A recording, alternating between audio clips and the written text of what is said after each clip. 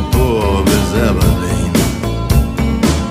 Wenn du mich fragst, wo es am schönsten war, sag ich Sansibar. Es war eine harte Überfahrt. Zehn Wochen nur das Deck geschrubbt. Hab die Welt verflucht, in den Wind gespuckt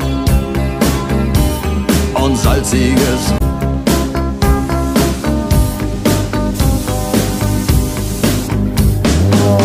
Als wir den Anker warfen, war es himmlische Ruhe und die Sonne stand senkrecht am Himmel. Als ich über die Reling sah, da glaubte ich zu träumen. Da waren tausend Boote und sie hielten auf uns zu.